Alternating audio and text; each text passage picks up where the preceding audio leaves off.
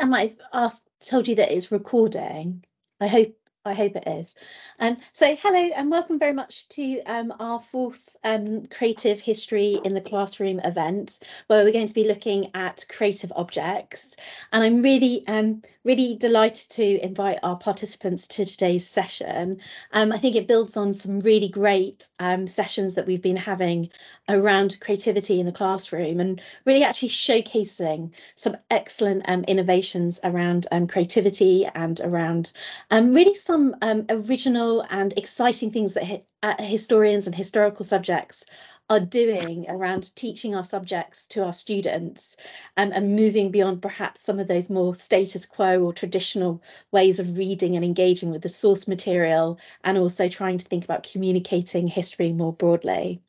So just to let you know, um, Josh is going to be um, in the session and he's going to be live illustrating um, the papers as you go through um, and they're they're wonderful. They're really brilliant. Um, so um, please do check out our um, our social media afterwards because you'll be able to see the see these papers in a kind of more creative fashion than perhaps our um, usual prose style. Um, in the um, in the um, chat function, you'll see that I put up a couple of notices, um, including um, the names and titles of the papers and the speakers.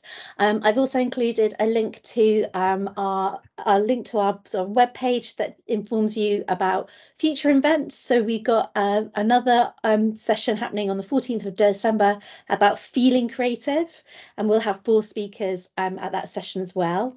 and then in January, just to do a bit of a plug, it's going to be our own hands-on session where we're going to be trying to think about creating a creative history manifesto, um, where we'll be asking participants to create a sheet and um, to go into a zine that will hopefully maybe start a conversation around kind of creativity in our subject area.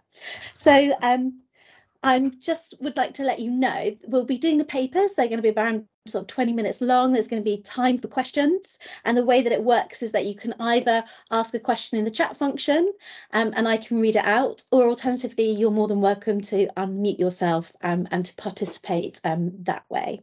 So our first speaker, uh, I should have paid more attention to this, I think is going to, yeah, is going to be Amanda. So I don't know if you want to upload your slides. Um, and it's really, I'm really grateful that Amanda's arrived because it's like 7.30 in Canada where she is. So um, it's thank you so much for waking up early for us um, so that we can end our day talking about um, uh, talking about um, book history and virtual classrooms and um, the printed past. There we go. Do we see that all right? Yes, I do, um, but do you want to just check that your slides can tab along because it, it, it it's the first alliteration that we were initially showing. Is it going back and forth right now? No. Of course. All right. We were we were only just saying in the whole session about how we were bemoaning, um, bemoaning teams. Is that is it working now? Is there anything happening? No, no, okay. Uh, what about now? Anything happening? I can't. I can't see anyone. So. Oh no, uh, sorry. No, nothing is happening. And at the moment, uh, it looks like it's just a PDF um, open. I'm gonna have soup. That's the last bit.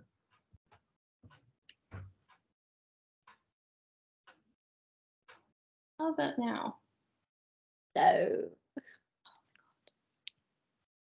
when you um, uploaded them the second time, it it it came up it slightly differently. So I don't know if you uploaded them through through um, a different way. Oh no, it's doing it now. Oh, okay. So I just can't see you as all.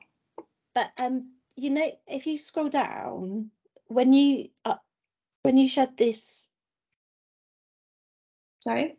Uh, when you shared it last time, it came up with bullet points and your slide is empty on the. Oh, yeah, it, it progresses. Okay, brilliant. Okay, I'll so let you move on. Sorry. Thank you. Okay, so I can't see anyone, just so you know. Um, so if something goes wrong, you'll need to tell me. Um, all right, thank you very much. Uh, as the pandemic started, I developed a new module or course, as we call it here in Canada, by the book A History of Publication Design looks at 150 years, starting in the mid 19th century.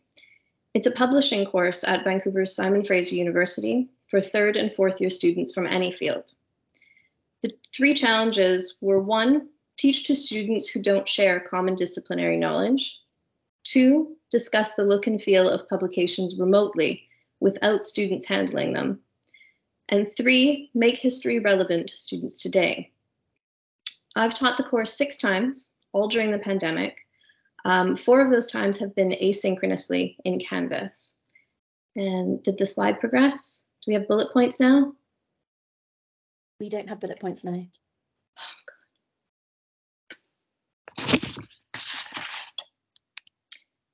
try it again because it's really not going to mean much without the slides. Yeah, it's moved on to the third slide here. Buying Oh, the book. Okay. Now there, now we're back on track mysteriously. All right. Um, this topic list is how I pitch the course to prospective students. From private press to propaganda posters to penguin paperbacks, there are multiple thresholds through which students can engage with a field that's brand new to them. Students come from across the uni, from majors in econ to psych to dance. Most haven't considered the objecthood of the book. They've learnt to focus on the text. My course teaches them to examine how the look and feel of books, magazines, newspapers, posters, and zines target audiences and shape their responses to the text. Some students will have industry careers in which historical knowledge will inform creative and strategic choices, but most students will pursue other fields. This course teaches all students to be critical consumers. It's a 13 week course. We should see 13 topics now. Yep, we see this. Awesome. Awesome. Uh, it's a 13 week course that's a history of publication design, not the history. We start in Victorian England, when and where many current publishing models were established, and we end up today analyzing how publishers leverage design history. And I should say that I'm something of an accidental historian. Uh, my mouth dropped open the first time that someone called me a Victorianist because I hadn't realized that I was. During my PhD in publishing, I developed a framework for studying what I call material evolution. I fell into history by asking, how did we get here types of questions about the present day industry. And that's the kind of curiosity I now aim to foster in students. The course content includes a range of media, authorship, and audience. Each week, there is content to read, to watch, and to browse. So, different verbs, different modes of engagement, something for every learner. Readings include scholarship from multiple fields, as well as industry articles and amateur writings. Videos include a TED talk on fiction cover design and a rare bookseller comparing periodicals to books, as well as student presentations. Then, websites to browse. Students surf through mid century lesbian pulp fiction books and 70s punk rock scenes. They, the browsing activities are sort of a lazy way to be productive. Even if students click through absent mindedly, they heighten their awareness of how the digital mediates the material and they learn to navigate archives. Research is the basis of, basis of most assignments, so I'll go through those now and then um, share some key principles. Engagement is most substantially class discussions in Canvas. It's an online space for seminar-like conversations. The first assignment is a 500 word reflection. Since library access had been restricted during the thick of the pandemic, I asked students to shop their own bookshelves.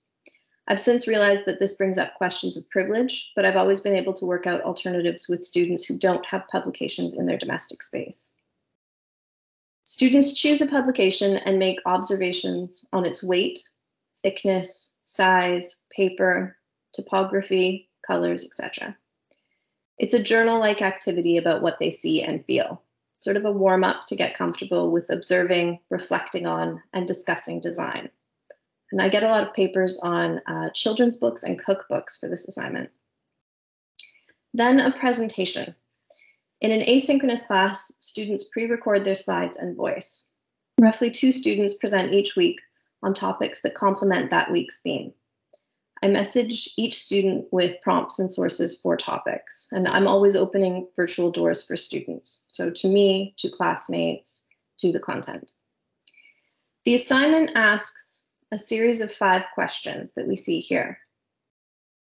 What circumstances gave rise to your topic? Who were the primary and secondary audiences? What problems did it solve? Was it inventive, innovative, or derivative? And what were its long lasting impacts? These questions are in all the research assignments.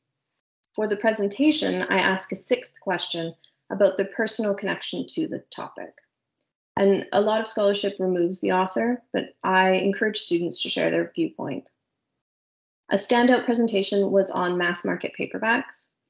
A student made a brilliant video of his dad's collection of John Grishams. It was so successful that I now explicitly encourage students to tap into their intergenerational knowledge. It enhances their connection to course content and develops their personal relationships with elders.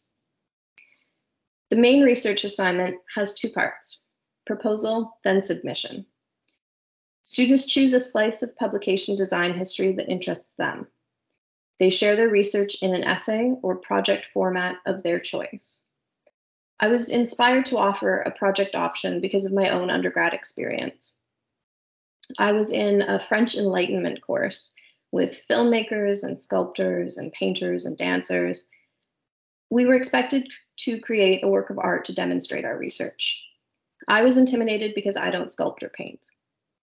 Long story short, I curated a shoebox full of Enlightenment ish objects. The only one I would remember was a spoon, but never mind.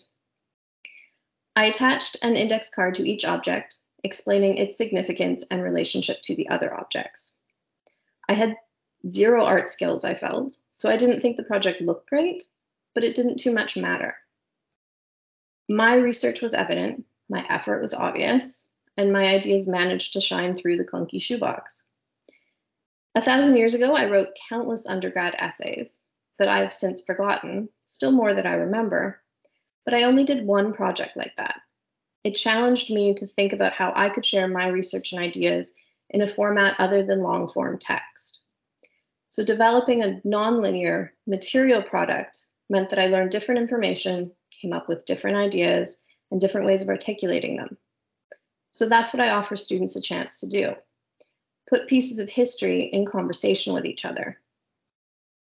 Uh, one of my favorite curatorial projects from a student was a video in which they pretended to run a comic book shop and give an historically informed sales pitch to an imaginary customer. The most popular topic by a landslide is Vogue cover design. Uh, on the screen here, we have some of my current students' projects. A video virtually installing Lord of the Rings covers in an art gallery, website prototypes on Christmas catalogs and manga, an art history zine focused on Lord of the Flies covers, and an inspiration board for a project that mocked up magazine spreads on the history of National Geographic. However, students deliver their researches, research and analyses, they again need to address the questions about historical circumstances that I set forth with the presentation assignment. They get comfortable with those questions as a consistent research framework. Next is a take-home exam. Students have a week to analyze one image, like a photo of a magazine spread or a photo of a book cover. I give basic identification information so they can research the publication. They again answer the five questions from the previous assignments. Their comfort with that framework minimizes exam anxiety and helps them focus on research and analysis. This time they express their findings concisely, so it's a paragraph per question. Last is a 500 word reflection. Students consider what is gained and lost by interacting with print on screen versus in hand. It leads to critical thinking about digital archives and access, durability, collectability, and uses of print at the time of publication versus now. Each reflection is an easy 5% to bookend the course, so students feel good at the start and the end of the course. Throughout it, my guiding principle is empathy. The effects of the pandemic are still lingering, and I want to ease unnecessary burdens. So this course is asynchronous, flexible, accessible, not diverse, which I'll explain in a second, and personal. There aren't class-wide meetings when I offer this course online. When delivering content asynchronously, students don't have to make stressful choices between attending class or coping with precarious pandemic circumstances like these. Many of these are no longer widespread issues, but I've got them here as a kind of meta way of historically situating when and why I developed this history course in the ways that I did. Since campus reopened, I've variously taught this course in person and online still. I've also developed a similar postgrad course that actually takes materiality as the foundation for studying histories of editing and marketing and so on. Actually, one postgrad gave a performance in class. They personified editions of Shakespeare's plays. So we had a No Fear edition, um, a Penguin edition, and a scholarly edition. And they ran um, origin story dialogue that they thought these editions would say to each other if, you know, books came to life. The performance was excellent. Um, but back to undergrads online. To further mitigate the impact of these life stresses, I hand out extensions honestly like they're candy. I encourage students to check in with me if they can't meet a deadline so that I can offer sympathies or supports and manage my own workload. Um, that communication is valuable in building trust and getting the best out of students. I also help brainstorm really unconventional ideas. That's how I get students to embody old, dusty Norton critical editions. And frankly, it's where I find the most fun in teaching. All content to read, watch, and browse is free. Again, easing burdens and opening doors for different types of learners. Neurodivergent students in particular really appreciate the variety of. During my first offering of this course, um, George Floyd's murder prompted a surge of Black Lives Matter protests, and that prompted me to call out my own syllabus as predominantly white and male. This imbalance is an ongoing challenge for me, and it's one that I openly acknowledge to students. Much of the content reflects an Anglo American publishing industry and design canon that have marginalized many groups of people. I welcome students to help make design history inclusive and diverse. Even if they choose a main, mainstream topic like mid 20th century romance novels, they ought to consider who did and did not design or buy those novels and why. Maybe high end production values put the price of books out of the reach of audiences with little disposable income. Maybe cover art depicting, depicting a white hetero couple excluded BIPOC and or queer audiences. Design, consumer, and research choices are now and have always been political. I frame pedagogical and scholarly challenges as opportunities for students to help make change. Using current events as a springboard for discussing history helps make it relevant. Instead of dull and dusty, it's ripe for recovery and new narratives. Again, I've subtitled the course A History, not The History. Students connect with the content by tapping into their personal histories and, as I said, intergenerational knowledge. For example, I set out to teach about wartime paper shortages and unexpectedly led one student to learn about their family's immigration. This deep engagement happens roughly midway through the semester when students are fully comfortable and publications are recent enough to trigger memories. Students draw on their memories to fill gaps aspects of publications that are not visible on screen. This is an imperfect list of print qualities that are and aren't perceptible on screen. Digital images flatten and tear apart print publications' objecthoods. Often, but not always, double page spreads become single pages, covers come detached, and end papers are not at the ends. The online isolation of print design and production values the lack of cohesion and the disruption of linearity are inconsistent with the objecthood of the codex. We talk through these limitations. In a virtual classroom, we look at books rather than look through them and smell, feel, and hear them. But the flip side is that students engage with more publications and a greater range than they can access in person. They also critique platforms that facilitate on-screen engagement, which is, for better or worse, an important part of the publication design history landscape. As I said, I'm an accidental historian. Reflecting on how I frame and teach history, I have more to say than I thought I had. So thank you for sharing uh, this opportunity with me to look at printed pasts and digital features. Thank you. Thank you so much. That was um, a really great paper, and I'm sorry that you couldn't actually see us because I think if you had, you'd have seen us nodding along and like really like inspired and in awe of your students' work, which just looked um, incredible. And I, I thought it was really lovely, actually. Like it reminds me of a paper that we had earlier on in the series that talks about this idea of actually increasing object literacy and how this really centers the idea of like reading the object rather than reading the text. And I thought that was just brilliant. So I don't know if anyone has any questions um, for Amanda. Um, like I said, you can put them in the chat function, or alternatively, you can unmute yourself and um, ask your questions. So I'll just give you um, a minute.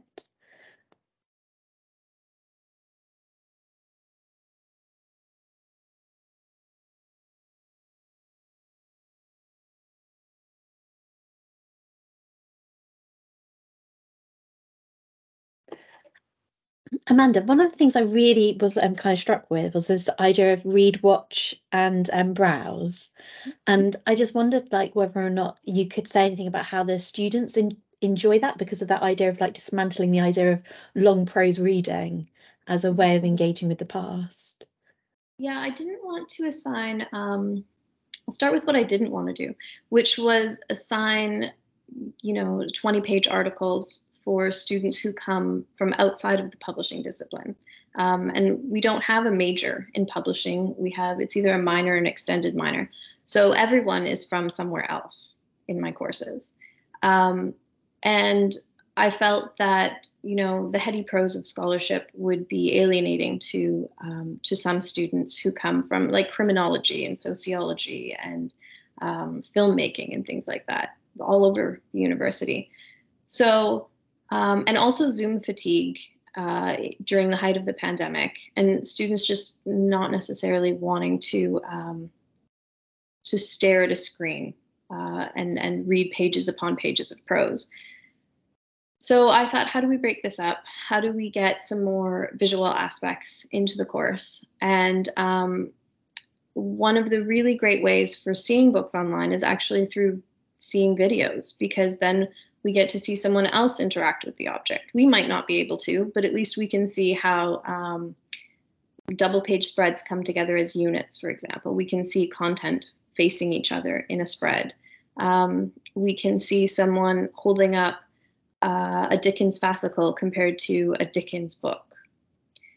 And that was really important for students to understand proportion, scale, um, all of those other qualities that we can't see on screen when we just see a photo of a cover. Um, and usually photos online are covers, not interior pages. So videos were a great supplement to that.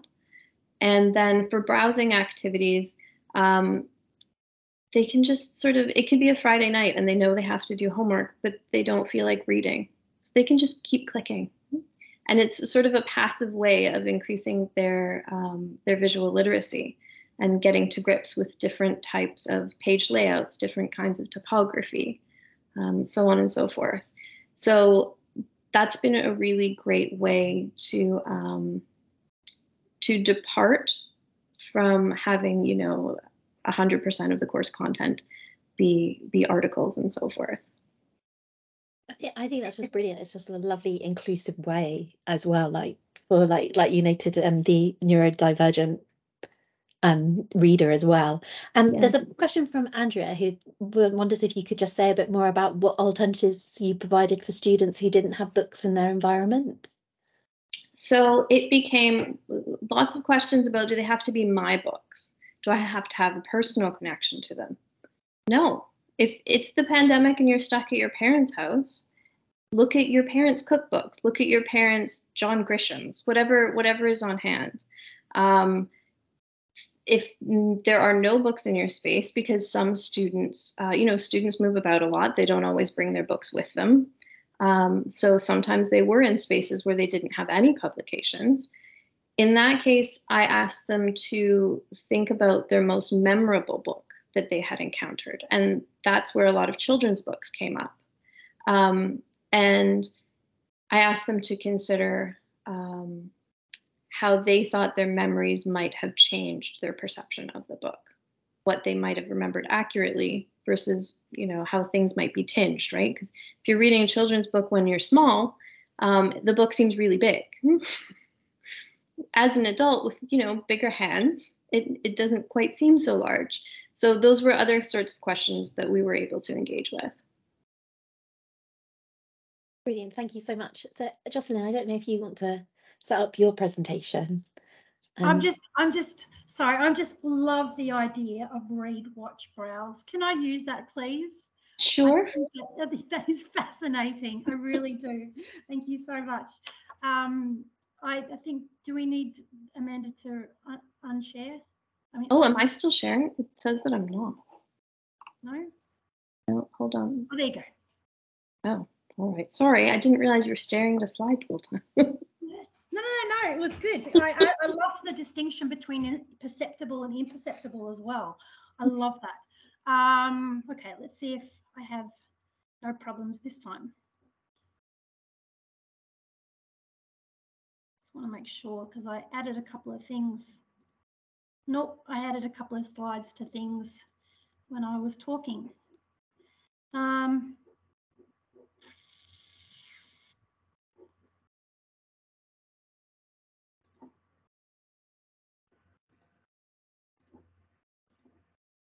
Can you see that? Can you see that? Yes, we can see that. Yeah. And when I click further, can you see that? Yeah, we can see that. Okay, now similarly to Amanda, because I've been having problems with version control today, I have no idea why. Um, I've now in a situation where I can't see you guys. So if there's any problems or anything like that, then um, please let me know. Um, really, really thank you so much, Lucy, and also Kath, if, she, if and when she looks at the slides, my fellow um, Derby um, colleague. Um, thank you so much. Um, the presentation I'm doing today obviously is reimagining book history creatively for 21st century publishing students. Now, this all came about 21st um, century publishing students I have found often struggle to recognise the relevance of book history to their pursuit of um, careers in publishing and how this applies to the contemporary publishing industry.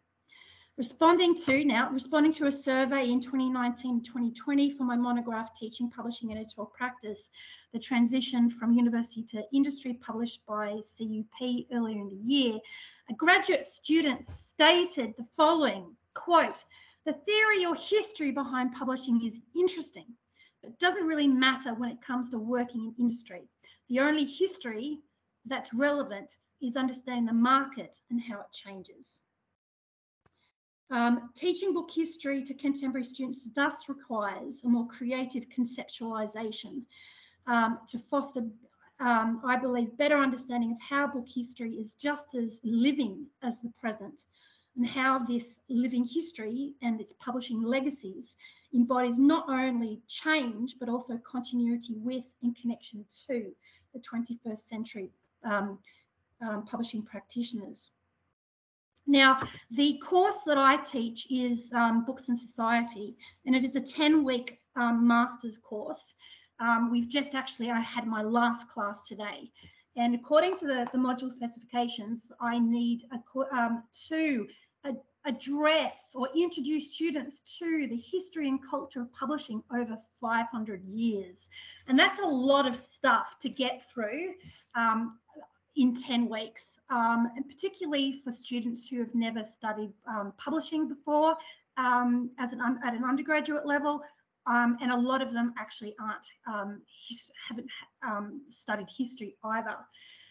So and the module learning outcomes for this are critically evaluate primary and secondary historical information and sources and place them in historical and cultural context of the publishing, printing, printing and literary industries, acquire a broad understanding of the major trends, events and debates of UK publishing since the 15th century and world publishing since 1900, and then to plan research and write an academic essay covering a clear and coherent argument and a mature understanding of secondary sources.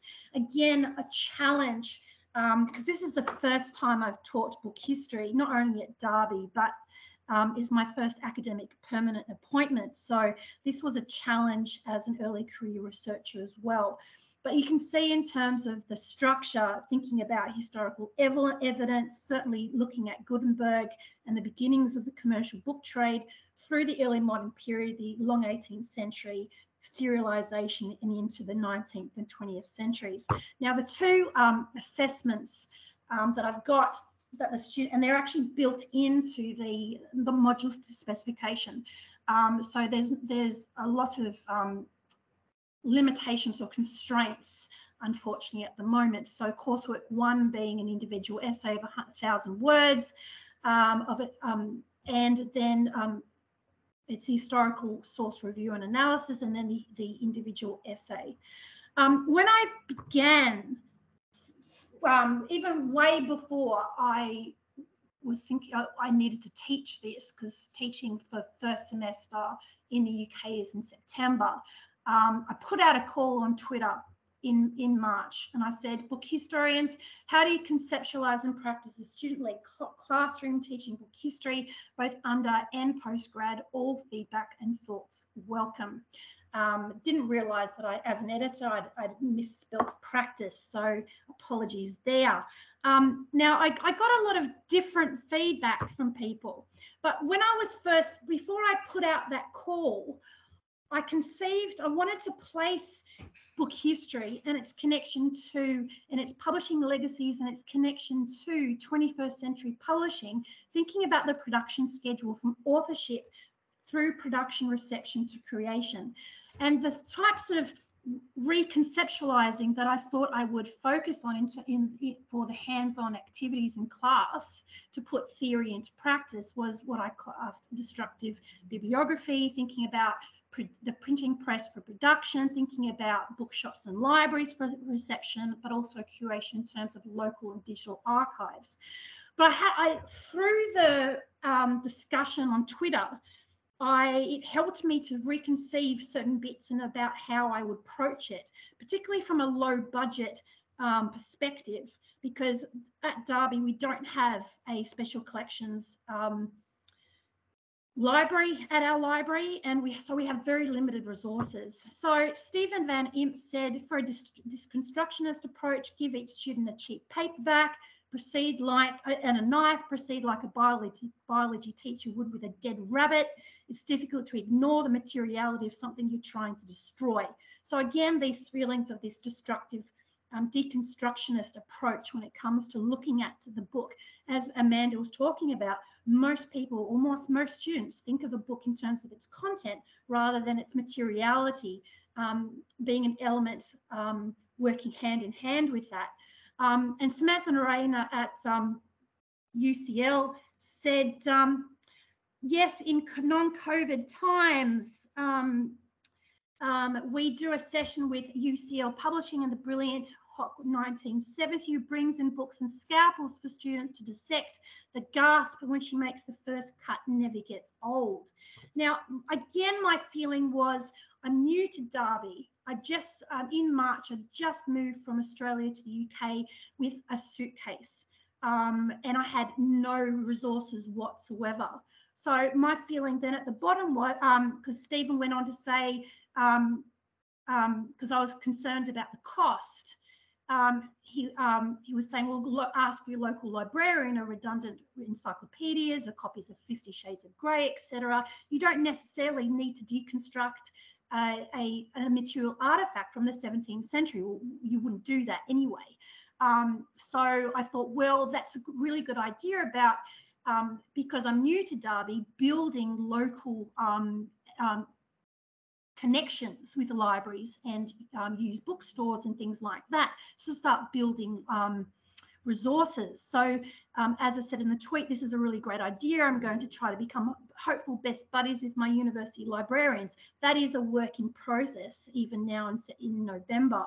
Um, Dylan Lewis from um, was saying, emphasizing that copies are just as important as editions learning how to critically read paratext and tons of attention to print material and graphic elements. Now, certainly he works um, or studies um, and has access to a media lab, so he's to invest in a cheap um, so, um, 19th to 20th century pan press from eBay.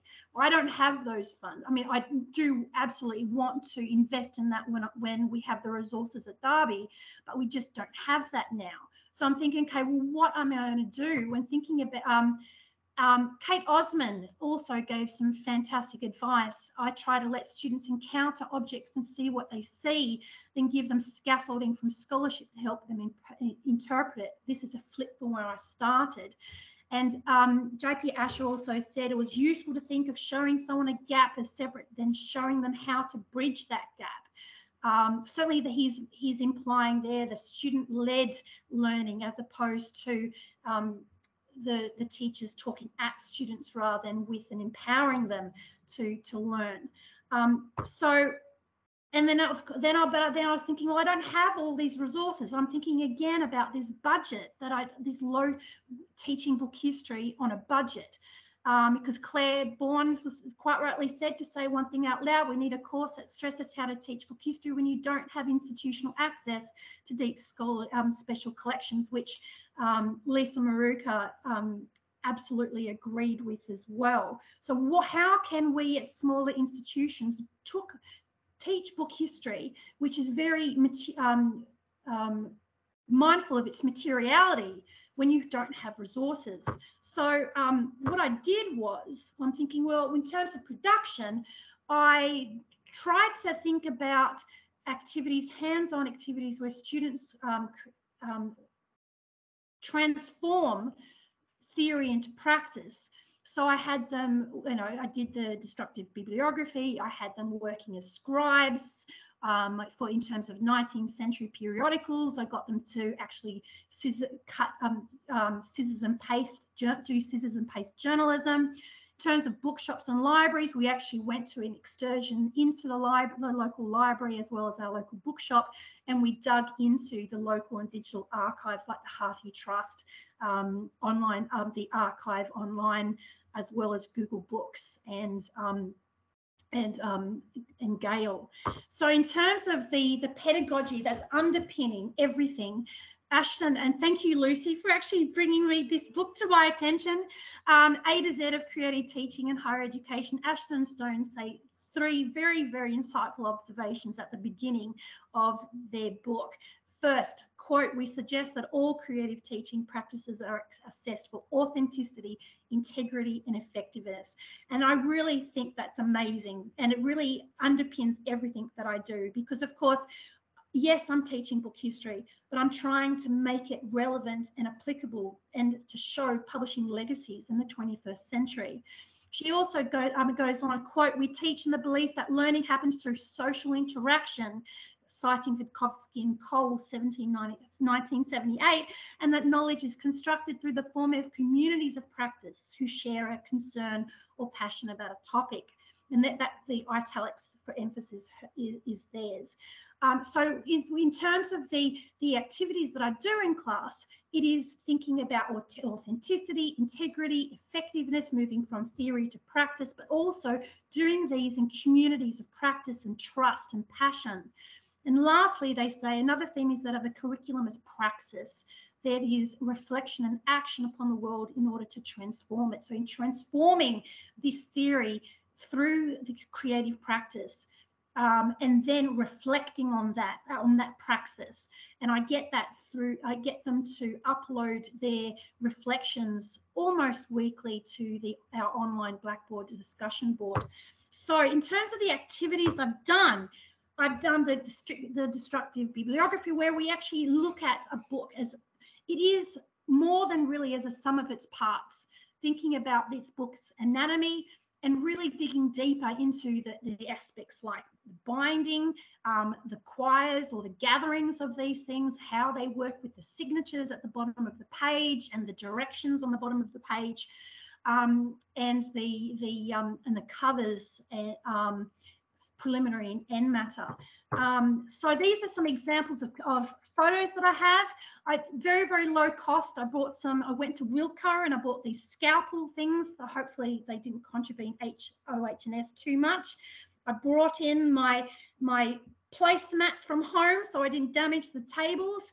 And I bought for 50p at um, some book um, um, garage sales some um, 19th century, 20th century, 20th century books that they could deconstruct um, to actually look at the binding, look at the quires, and um, see how these books work. Another one was an acti uh, activity that I did was simulating manuscript culture and, and the process of transitioning from manuscript to print. So I got to them to write a hypothetical letter and um, of a minimum of two paragraphs then they had to they had to write it with a pen and paper. They couldn't use any whiteout or liquid paper. They had then had to swap that letter with um, a peer of theirs, and again they had to tran they had to um, transcribe that letter again, taking very a lot of care with form and presentation, not using any liquid paper. And of course, I don't have access to a printing press, so we used Word to simulate the movement from manuscript to print. Um, and again, they had to um, reproduce that text, and but they had to actually not um, change anything about it. And then they needed to write up their reflections on the discussion board on Blackboard. And I've got an ex um, so there's some examples of where their students are just uh, writing um, their own letters, where they're transcribing the letters from one of their peers, and then using their devices like a one one person was using a mobile phone, one person was using an iPad, and two others were using um, their um, their laptops. Um, this is an example of a student reflection um, Mitch said one of the fa factors regarding reproducing a text by hand that I didn't initially realize was how a style difference from one set of handwriting to another can alter the line spacing words per line quite drastically. Even when trying my best to match the specific size of the original writing, stylistic differences like letter spacing and word spacing still meant that my writing was one or two lines different in size than the original piece. And he goes on to talk more about theory there. Um, now, in week seven, we, we, were thinking about globalization and creating colonial editions. Um, and from Australia, I um, I obtained the um, a copy of the um, Launceston, the first issue of the Launceston Advertiser that was published by John Fawkner, um, Pascoe Fawkner, one of the um, earliest printers in Australia, and it was printed on the 9th of February 1829. And we simulated scissors and paste um, um, journalism, um, creating colonial editions. So I got the uh, uh, the um, digital copy of the Derby Mercury, I got the Leicester Chronicle, I got the Sheffield Independent, I got the Standard. Um, certainly, they wouldn't um, in Australia in, on the 9th of February 1829. They wouldn't have been. They wouldn't have had access to um, newspapers that were five days old. But certainly, you get the idea in terms of they would have been obtaining this content from overseas, and they would have been mashing up, basically picking and choosing, curating content um, to place into the periodicals along with lo um, the local content. And this is some examples of the, the scissors and paste um, that they were doing. I, I spent about 10 or 12 pounds. I had to buy scissors, I had to buy glue um, um, from our local Blackwell's bookshop downstairs at, at Dar University of Derby. And so I printed out um, each copy of um, so it was the Standard, the, the Derby Mercury, the Sheffield Independent. So I printed out A3 copies and gave them blank A3 sets. So they had to actually produce the a first their own iteration of the Launceston, Launceston advertiser on an A3 page. Um, so they had to read through all of the four um, uh, um, um issues of the, the newspapers, decide which of the content would be interesting to the local Launcestons at that time in the 19th century, um, and then create their own version, which there are some examples here um, there. Um, and then an example was uh, for student reflection. I really enjoyed this task. Combining news information from all five periodicals allowed for the Centre Tasmania to um, actually she misunderstood the centre as England to gain insight into the periphery, which is Tasmania. I thought it best that the pieces I took from the Launceston Advertiser go at the top, allowing for the readership to start the centre of their own country and knowledge and work outwards towards the periphery. That's actually a very interesting way of interpreting it. Um, then I took them, to, the idea of um, bookshops as literary nexus because at Derby, at Derby, the Waterstones, is right on the corner. I don't know if anyone here knows um, knows Derby where the Waterstones is, right on that corner. Um, and I went to a bookseller, the booksellers um, online workshop a few um, months ago um, that was facilitated by um, Eden Muse and Samantha Rayner, and there was one of the presenters works at the Sam Read booksellers. And again, this old bookshop um, established in 1887 is on the corner at the nexus. So I really wanted to um, um, inspire the students to look at bookshops in a, in a different three-dimensional way. Um, and so I got, we went into the Waterstones bookshop last week and I got them to stand outside the bookshop for five minutes and look at the, the, the traffic, um, both vehicular and pedestrian going past and in and out. I got them to have a think about the internal architecture of the Waterstones and how the books are categorized. I look, I asked them to look at the shelf displays. I asked them to look at the table displays and I asked them to look at any sort of readerly paratextual information. And here are some really lovely um, pictures that I took. I think um, the one at the top with the students standing outside on the street, I think they look a bit like lost puppies there. But you can see that um, meter on the right is upstairs on the first level looking at the, the categorization, the architecture. Um, on the bottom left, you can see my student um, Liv looking at the, um, the, the table displays. And of course, Mitch in the center is looking, is holding up Eric Carle's Caterpillar, thinking about the paratextuality of bookshops. Um, so, um, and this is just one of my students, Liv. She said, best books and society class today, studying the bookshop as a literary nexus. Went to Waterstones Derby and looked at the bookshop in ways I've never thought about before. So I'm thinking about these transformative moments, moving from um, theory to practice, but transforming students' ideas about bookshops um, not only in terms of bookshops from the past and how they operated, but how that had the continuity and change of bookshops in the 21st century to see these publishing legacies. Um, and of course, she um, also provided, I got the students to, on the um, discussion board to then provide a reflective report about their experiences. Um, and there's an example with um, the and she says the book, amount of bookish paraphernalia was actually fascinating and how important a role it has in the act of reading and book buying. And she goes on to talk about that. Um, so, and the, so um, I was really, really concerned because this is the first time I've done this module at Derby or I've done um, at um, anywhere. Um, and the, the feedback that I got was very encouraging. Um, the one on the left, this was anonymous feedback saying, considering that this is Jocelyn's first teaching module at Derby, the module runs as smoothly and effectively as it is been long established. The content is fascinating, gripping, and presented by the all-named Jocelyn in fantastic, uh, engaging ways. Now, certainly the, the one on the right says the same thing, but um, that's why I'm quite fascinated with what um, Amanda was talking about, um, read, watch, and browse. Because one of the things I struggled with, because I'm I am having to cover 500 years of publishing history in basically nine to 10 weeks. So one of the students' bits of feedback was the readings are my biggest hurdle. They're very dense and can be long, so they would be my only issue.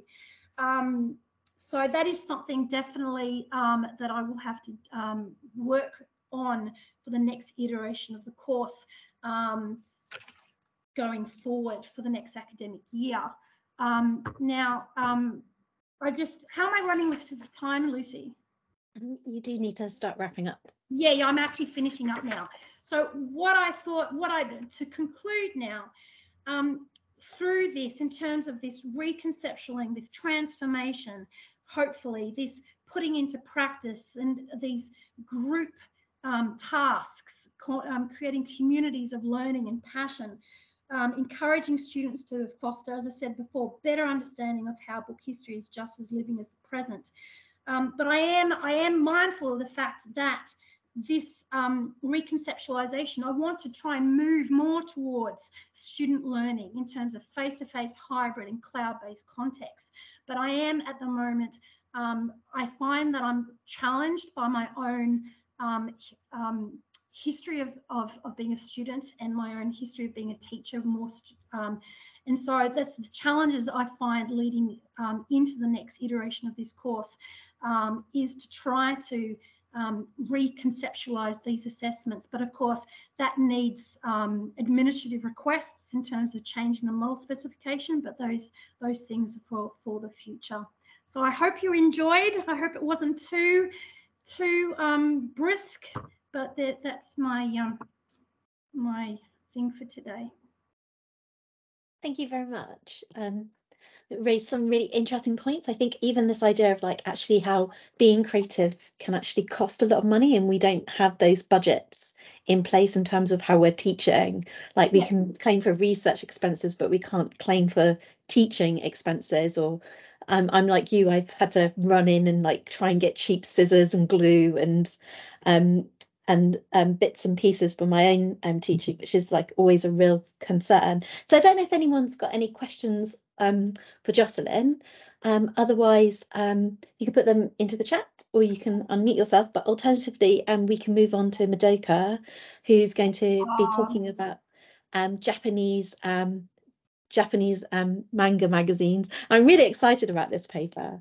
Um, so hopefully, like you can upload okay.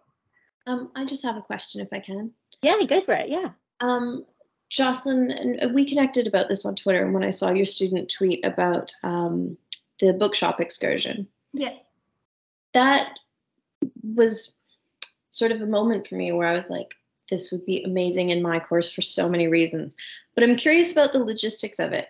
Um, like, did you tell staff that you were coming in? Did everyone look conspicuous and awkward when they were wandering around? How many ah. students uh, did you have? Yeah. Well, I'm. That's a very good question. A, I have only got um, five students this this semester. So, um, in terms of, because I asked my, my program leader, um, well, do I need to fill out any paperwork? And he said, yeah. well, no, quietly. Um, and um, so because I, we just jumped on the, the uni shuttle and mm-hmm. uh, while they were outside looking at the traffic in and past in and out of the bookshop, I actually went to the manager. Now I um, they were very nice because I didn't actually go, I hit them with that with five minutes notice.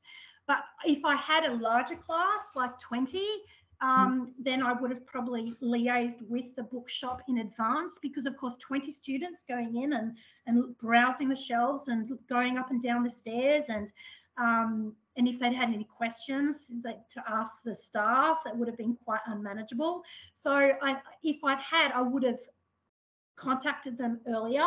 But as it was, while they were outside doing this sort of more ethnographic work, um, I went in and say, hey, do you mind if we come in? If they, if you're not busy, then perhaps they might field any questions. So, and it was, it was, it, when we went in, it was around, oh, 11.30 in the morning. So it mm-hmm. wasn't terribly busy. So I think that factored into um, it not being problematic either.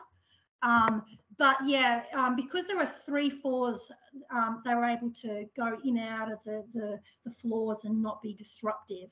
But certainly, I think if you, how many people do you have in your class? Uh, right now, I have 18. Yeah, yeah, you probably that might be a little bit more problematic. But mind you, depending on the the bookshop you go to, I mean, Waterstones and Nottingham is like five floors. Yeah, spread so, out yeah, yeah. So um, thankfully, I didn't need to do any administrative paperwork, um, and I went in just on the day. But as I said, if if there were more students, rather than five, I would have actually pre-planned it. Yeah. My, my brain is sort of spinning now. We'll have to connect outside of this because I'm thinking if the timing matched up for each of us to do that activity with your students there, my students here, and then compare results. That would be awesome. I love that idea. Love so that's it. a side talk. yes, yes, absolutely, Amanda. Awesome, awesome. Yep.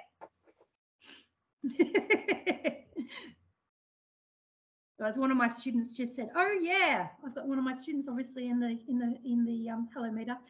Okay, um, awesome. Thank you. Uh, great to see that this is um, having this facilitation. But um, Madoka, um, I'll turn over to you.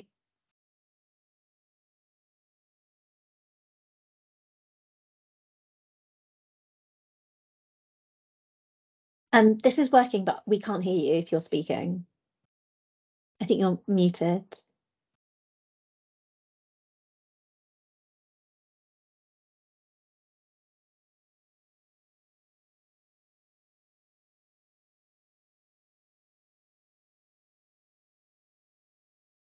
I, So I sorry. Oh, Sorry, yeah, yeah, I was, can hear you now. yeah, I'm so sorry. Um, sorry. No problem. I, I, Okay. Teams is that's one of the most challenging things I've ever worked with. Okay, let me share the screen. Um, can you see? It's just it's just uploading now. Yeah, it's uploaded. Um, okay, so I'll just try to move the slide. Yep, that's worked. Okay, thank you so much. So, um, okay, hi. Um, so my name is Madoka Nagado, and in this presentation, I'd like to share my attempts at integrating Japanese manga comics as a tool to teach history to Japanese college students. So um, just a, uh, a little bit of my background. When I had a chance to teach the history of British literature, the first thing I realized was the students were very unfamiliar with or uninterested in not only British literature, but also the history it came from. Only a few famous authors, such as Shakespeare, were known to them, and the students presented great difficulties in making sense of how the history of Europe and the UK have intertwined. And precisely because they couldn't grasp the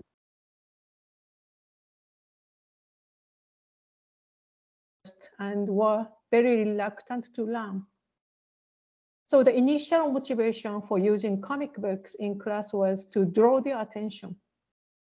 The popularity of manga in Japan, as you know, have been long-standing and are keeping going strong today. So this is the scene I cut out from some manga to explain Brexit. The students reacted quickly to this visual and exaggerated personification of countries, showing some engagement and understanding. I was very encouraged by this, uh, so I added one question to the end term student feedback survey to ask about the use of manga. So these are uh, some of the students' answer and my question. This student feedback is illustrative of how manga can enhance their motivation. And also to me, it was very suggestive of being more creative regarding how it can be used. But um, my plan and the way I use manga is not as physically, create, physically creative as using scissors or paintbrush. It's still reading and writing. Um, but I still expect it can still challenge students to practice their critical reading and research skills. As a lecturer of British literature, I tend to see history as a series of past events as well as individuals' actions. Therefore, by adapting a histori historiography approach, my purpose is by creatively engaging with objects in manga, let students learn how to actively read and interpret history. There has been a study on comics educational potential. including graphic novels such as Maus and Fun Home, visual text can help students develop multimodal literacies, prompting them to engage in critical thinking and analysis. According to Will Eisner's classic description, comics are a sequential art that produces, quote, the sequence of events or pictures so as to bridge the gaps in action, end quote. Like any other terminologies, manga has been defined differently. So for now, I'll use manga to refer to comics created in Japan and published first in Japanese language. The distinctions between traditional Western comics and Japanese manga used to be much bigger, but in this age of online media and the global book publishing, the styles of each culture have influenced and blended into each other. However, some of the unique characteristics of manga still remain recognizable. The primary one of them, which is what my project focuses on, is its meticulous depiction of the small parts. As shown in the illustration left, a comic book studies scholar, Scott McCloud, points out that in small real-world details, we can find, quote, an appreciation for the beauty of the mundane and its value for connecting with the reader's everyday experiences, end quote. Also, as shown in the right picture, he also explores how panels are constructed in manga. Quote, by splitting an opening scene into fragments using aspect to aspect transitions, manga characteristically uses multiple panels to establish a setting in which the scene assembled in the reader's mind. End quote. To put it simply, manga panels provide both the larger environment and the small detail of the objects. Besides some exceptions like study manga, which is specifically made to provide educational materials, manga's primary intent is to entertain. And due to its entertainment purpose, some background accounts and context need to be embedded and adapted to a fictional frame, which resonates what historian Emmanuel Miquel and other scholars point out, quote, from the earliest examples, the writing of history has been intertwined with fiction, and thus history and historiography are established core areas of research within all academic fields that deal with adaptation, end quote. This is the driving rationale behind how I use manga in a history class and what students will get from the manga-based assignments. So in designing a history of British literature course, I used this manga, Seven Shakespeares by Japanese cartoonist Harold Sakuishi. This manga is in the same way as the 1998, 1998 American British film Shakespeare in Love the plot involves an untold story of Shakespeare's life and his creative process, incorporating the theory of there being multiple collaborators engaging in making Shakespeare a playwright. Closely tied to the main plot, an equally vital element in the story is the historical and political context of Elizabethan England, with the supposition that both Shakespeare and Queen herself were Catholic. Therefore, in order to fully enjoy the story, students need to understand the complex background of that spirited age because the th theme of religion accompanies most of the decisive moments in the story. For instance, Shakespeare and other main characters always need to act based on the norms and rules of that day to find out who is on their side before taking action or doing anything at all in public. So um, these panels depicts the scene in which Shakespeare is meeting Ferdinand Stanley for the first time to seek his protection and support as a patron of the theater. While waiting for him, Shakespeare notices a piece of artwork hanging on the wall in the reception room. Initially, they cannot identify the subject of the portrait. But once they do, they start to doubt which side Stanley is on, if he is an enemy, and their safety.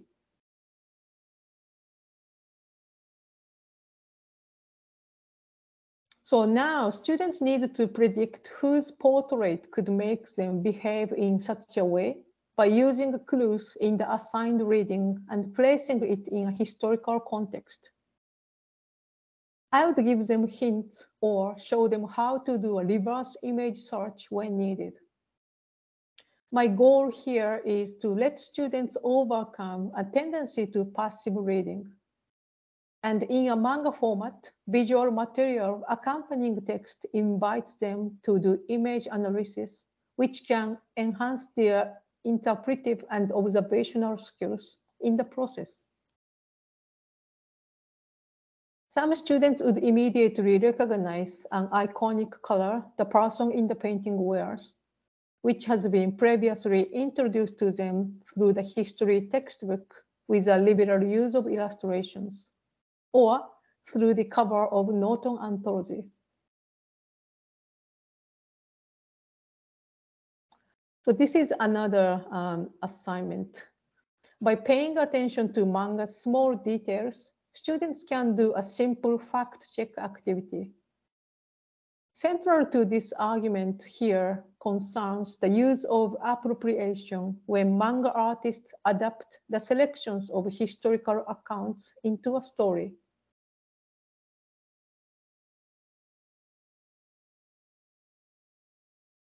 And this thing is also for fact check activity.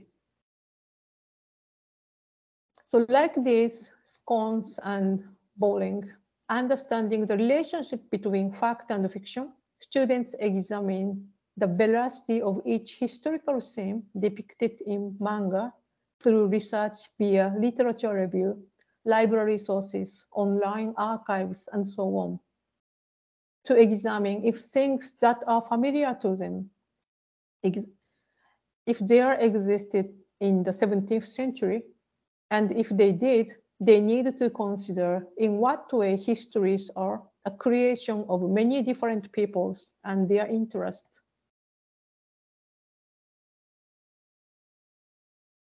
And lastly, involving in a more substantial research, students will combine their observational skills and research skills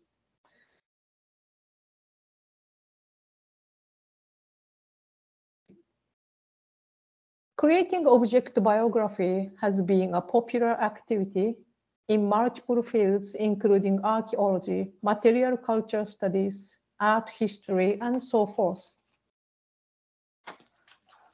According to Anne-Sophie Riemann, quote, the biography offers entry points even if no information is available and encourages interdisciplinarity as objects straddle many fields the object biography stimulates new forms of writing because it lends the object a voice and foregrounds narrative, end quote. Usually, main life cycle from production to consumption. But in my manga-based assignment, the interest is in the moment it existed Student will investigate and describe a selected object in depth to connect dots to correspond to the surrounding narrative. So first, students are given some scenes in which a small object plays an important role that leads to consequences for the character's decisions, adding stakes to the story. For example, in this scene, a boy actor finds himself at Shakespeare's house as he has no place to stay. Picking up the boy's shabby coat to give it a wash, a resident of the house notices something fall out of the pocket. When the boy wakes up, he is quite upset because he, he can find that object nowhere. In the last panel, when he sees the object held in a man's hand, he looks shocked or even terrified. So to understand what is going on here, students need to identify the object. So this is um, answer key. That object he lost was a pilgrim badge engraved with St. Thomas Becket.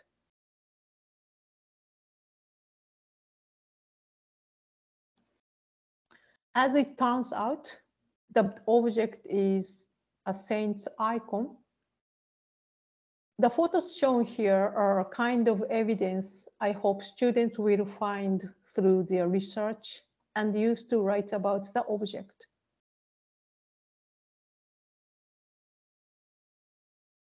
And let me give you just one more example.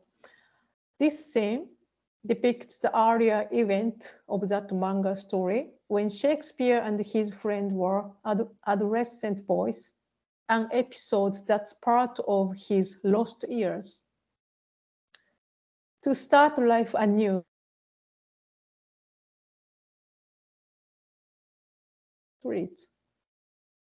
Then Shakespeare runs into a man, seemingly a clergy of the Church of England, doing something besides a large hole on the ground filled with shards of something broken. Shakespeare snatches a piece quickly and examines it, and he and his friend immediately recognize what it is. And also, they come to see that the man was not burying them, but digging them up. So again, to understand the situation, students research to identify the object and why the man looks suspicious.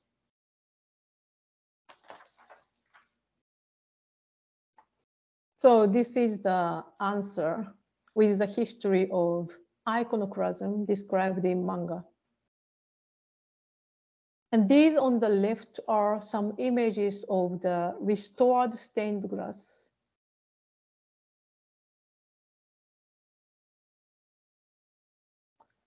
Compared to the fact-checking activity, the level of engagement with materials through writing is much higher and more difficult, I should, I should admit. Students will be given opportunities to independently read, examine, analyze, and reconstruct the reproduced history in manga through the image. In other words, by interacting with materials presented in manga, students can revisit the long gone unfamiliar past and the people involved in it in a more relatable manner than reading them in textbook and learn to exercise their historical imagination. Responding to a trend in museums and exhibitions in England, Michael Goncher, in his 2014 New York Times piece, emphasizes the importance of artifacts in visualizing the past and the historical interpretation evoked by them. As recent scholarship illustrates, historians have explored the challenges and implications of the relationship between individual lives and the larger historical paradigms. Manga is one way in which a series of individual life stories unfolds in a broader environment. Since the panels characteristically developed in manga formats, quote, break up the single environment into smaller parts, which navigates reader to construct the whole environment in their minds, end quote. As the manga's visual format allows for historiographical discussions, I hope to use them as a means to increase students' interest in and knowledge of what the world in the past was really like beyond the information in a textbook, and ultimately make them curious and careful interpreter of the history. So yeah, this is the end of my presentation. Thank you for listening. And these are not what I already did, but what I'd like to do for the next semester. So any suggestions or ideas are more than welcome. Thank you very much. Thank you so much. That was um, really fascinating. I love this idea of like using um, a visual visual resource to encourage kind of like these um, creative um, research skills and the idea of like running off and looking um, for objects. I thought that was just like a really fascinating way of get like hooking students into into the topic of British history and particularly uh, uh, particularly um, like the Shakespeare's time. Um, does anyone have any questions or um, um, questions for uh, Madoka?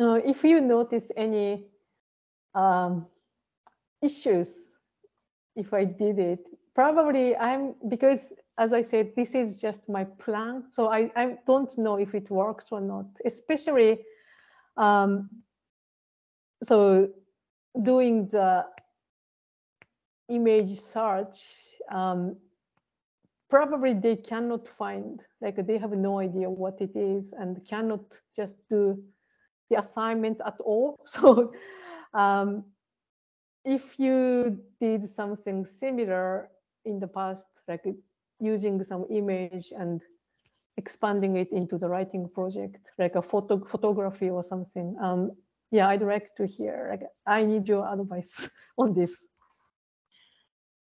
Um, different, but this, as I said, this is the first time I've taught book history at Derby and really anywhere as part of my academic career.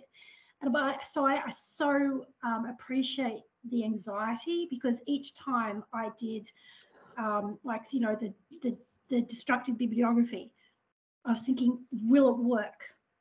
When I did the papers and scissors access exercise with trying to emulate um, colonial editions of um, um, British British content, but disruptively in mm. terms of localized production. I thought, will it work? And all I can say is it did. it is just like it just you know you've got this inspiration and you're so concerned oh my god you wake up at two mm. o'clock in the morning you're thinking oh my god will it work calling up my husband who's in, you know, Australia and Melbourne, will it work? And he says, just use your gut. And so all I can say is if your gut says that this is how you want to disrupt and transform knowledge, just go with it. You know, and you know, it's I mean, I there are so many ways just doing the first and I, as I was teaching the course, and as I said, I've got 500 years to pack in to nine to 10 weeks with students who, you know, um, bless their cotton socks, have, have done undergraduate degrees but never publishing studies or perhaps um, studied history. Oh, and, you know, UK history because I've, um, um, and, but it just, having the faith in the students mm. and um, allowing them the space to thrive as a community to feed off each other and work as peers. And I just stood back and let them go with it. And the results, as you can see with the photos, were just absolutely clear. So I just think that's my two cents worth is just that go with your gut because honestly, it was probably going to be amazing. Thank you so much. I think that's all I needed to hear. Thank you so much. So yeah, I shouldn't really expect like the road is always smooth. Yeah, it's it can be really bumpy. And thank you so much. I was wondering, um, have you tested out to see whether or not those images can be picked up with um the Google the reverse Google image search? And if they then knock into some of the knock into some of the um websites that you might be thinking of. Um because I always think that's really I, I did that a couple of years ago with my students um where I asked them to put in like a picture of a Victorian slum and then it brought other pictures up of Victorian slums and it was really interesting to see that as a genre rather than Mm. as a standalone a, a standalone image so even if they don't maybe knock into maybe the right image information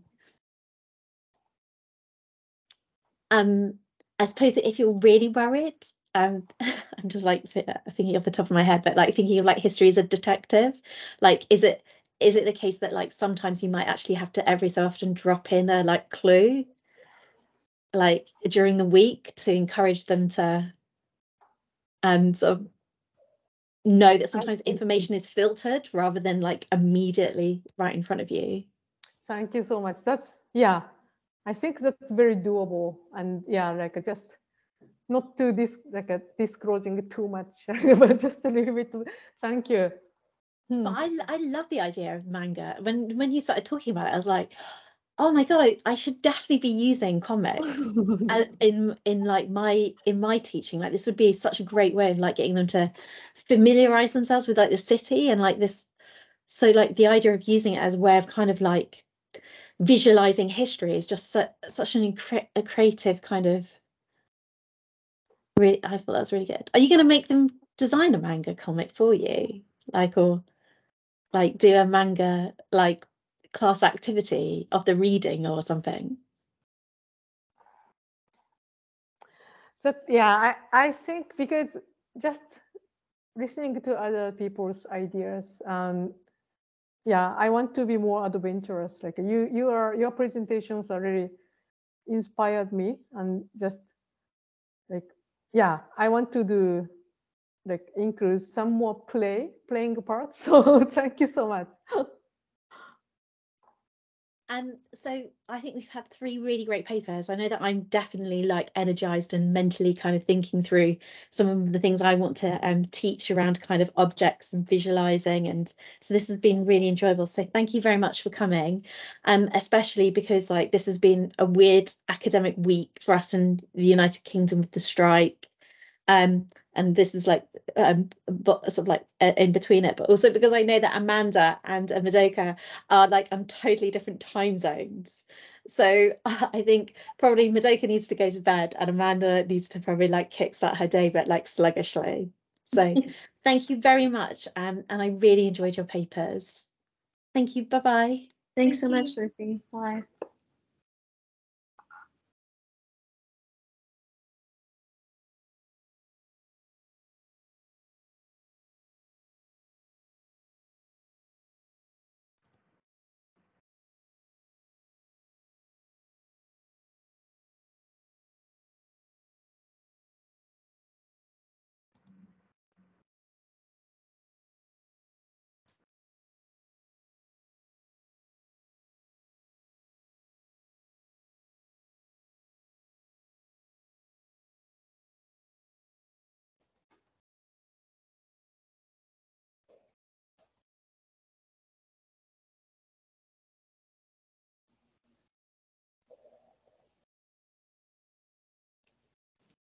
Hello?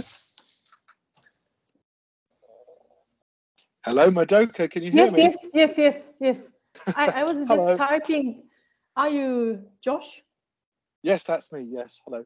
That's that's incredible. I, I just can I just take a screenshot? Wow, yeah. that's I just so, wanted to say, I, I didn't mean to, I was just drawing. I forgot to uh, hang up the call, but I was just drawing and I saw you, saw you're still there. So I I, was- I just was wanted to take the the- opportunity. Sorry. I just sorry, um, wanted to say uh, how much I enjoyed your talk. And obviously, I like drawing as a job. So uh, really fascinating. Thank you. What may I ask your um so you you are an illustrator. I, I'm sorry, apparently. So this is a very stupid question. I'm so sorry. And ahead. because I missed I missed the previous presentations, which I'm going to watch the YouTube video. So yeah, thank you so much. that that's just wonderful. Like I really want to keep it.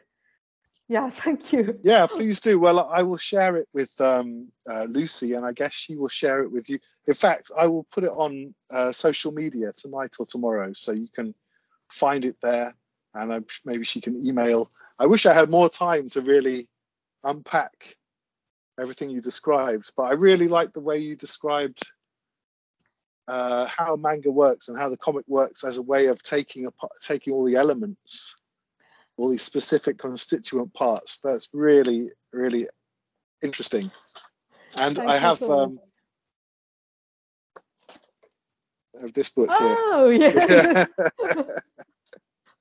I'm So, using uh, it a lot, and yeah. also the like uh, creating comics. I think it, it's uh, that book sequel.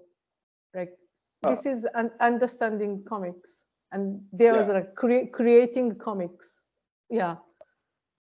It's brilliant. It's a brilliant book, especially some of the things. This these things really stuck in me about how how simplicity and how the levels of detail or simplicity make things more universal or more Mhm. specific, and how you kind of pull in and out of that.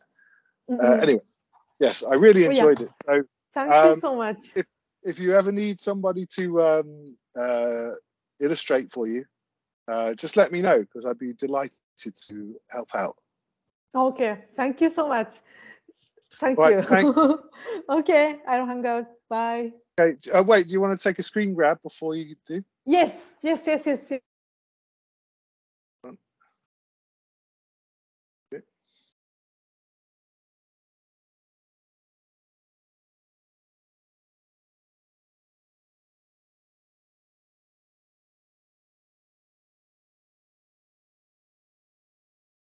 You get it?